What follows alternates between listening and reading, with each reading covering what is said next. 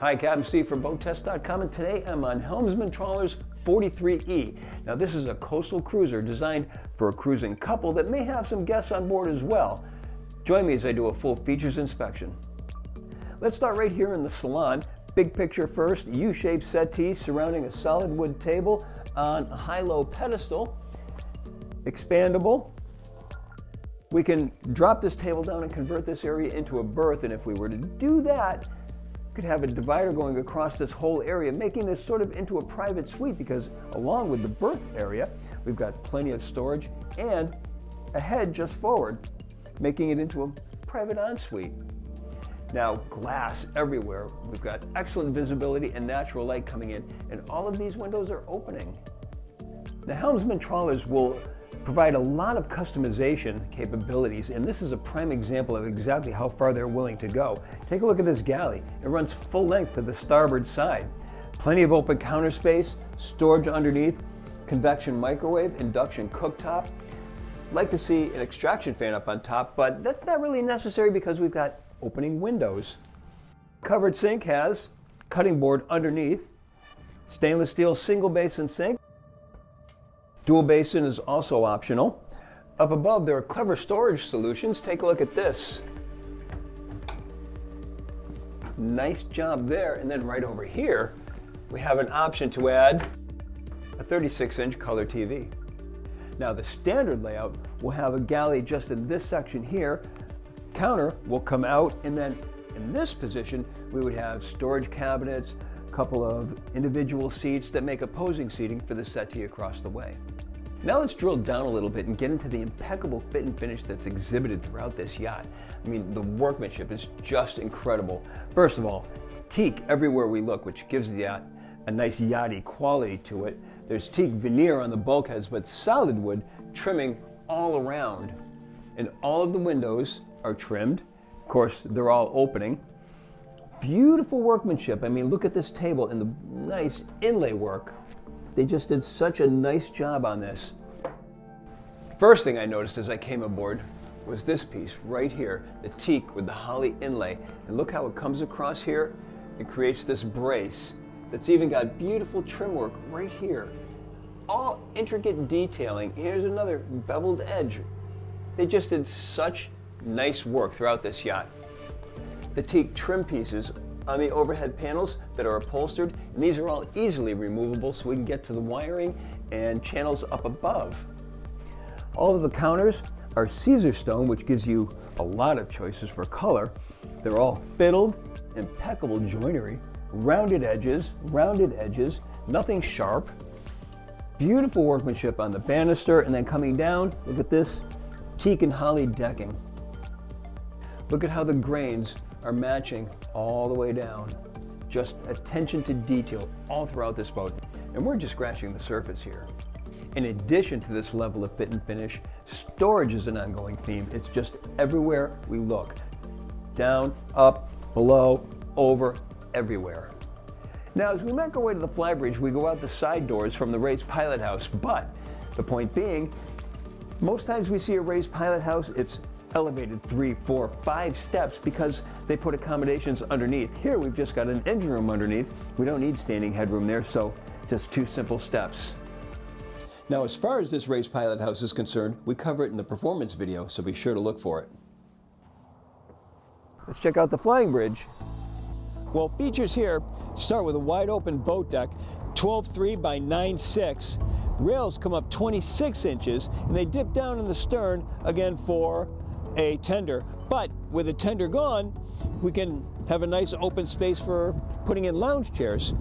Coming forward, the normal layout has the helm center mounted with two L-shaped seats on either side. Here, this owner requested that the helm be moved to the starboard side, and now we've got a U-shaped dinette wrapping around a fiberglass pedestal table. Nice padding around the rails, Forward of the flying bridge, we've got an open coach roof with rails to both sides. We can use this for storing kayaks, stand-up paddleboard racks. Alternatively, we can have two 225 watt solar panels to each side and another one across the front. And notice that this is all channeled to keep water aft instead of dripping down onto the doors on the sides. The aft deck, 5 feet 7 inches by 12 feet 9 inches and protected by the extended overhead on top, 7 feet 2 inches off the deck. A lot of options for what we can do here. Get a little entertainment center, refreshment center, ice maker, refrigerator, sink. The options are just everywhere. Right now we have a little flip up table to the starboard side.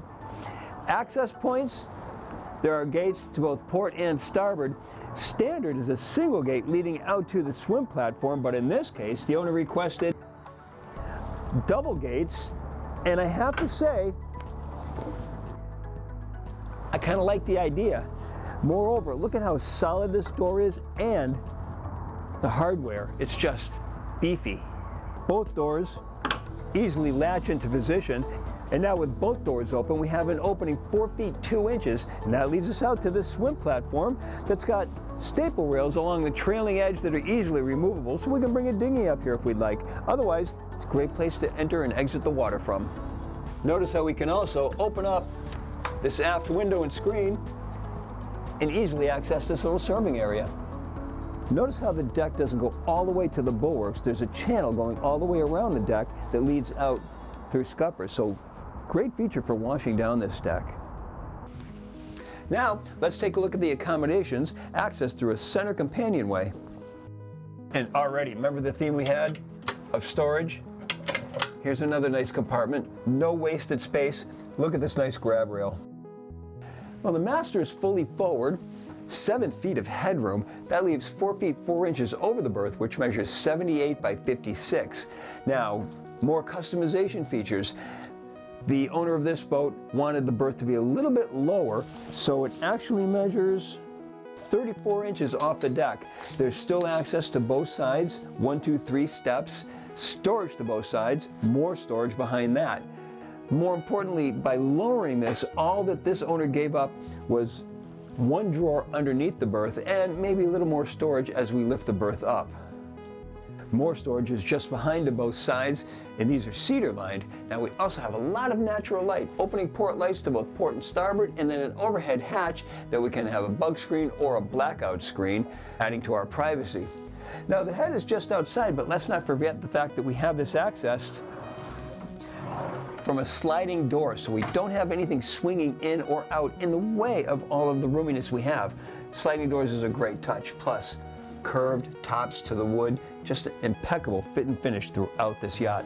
Now the head, just to the starboard side, electric flush toilet, sink recessed into the countertop. There's a grab rail, storage above behind a mirrored cabinet, more storage above the toilet. The shower has a teak seat, antique decking, opening port light for ventilation, and a glass door. Now, just to the port hand side is the guest stateroom.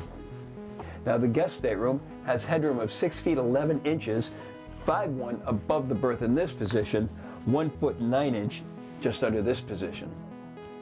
The berth itself measures 56 inches by 76 inches, storage and hanging locker just forward, full length mirror in front of that, and notice it's trimmed in teak, storage drawers, and then look at this nice storage shelf just above. And notice again, the sliding door. It's just so nice to see rather than a swinging door. Excellent craftsmanship. Look at the curved wood to the top. Just great features everywhere throughout this boat. Now, as impressed as I am with this boat, every boat has its compromises, and on this one, I could probably think of two. First of all, boats in this size range generally focus on putting as many staterooms as they possibly can into the boat. Here, the focus seems to be on just making two staterooms and using the rest of the usable space for your daytime activities. I mean, let's face it, all you're going to be doing in the staterooms is sleeping, so why not have a focus more on the open space in the daytime features? The second drawback, I think, if I had to use that term, would be these boats are made one at a time. They're not production boats. One at a time, each one is different, and for that reason, there's just not enough of them. And that's my full features inspection of the 43E from Helmsman Trawlers. For BoatTest.com, I'm Captain Steve. We'll see you on the water.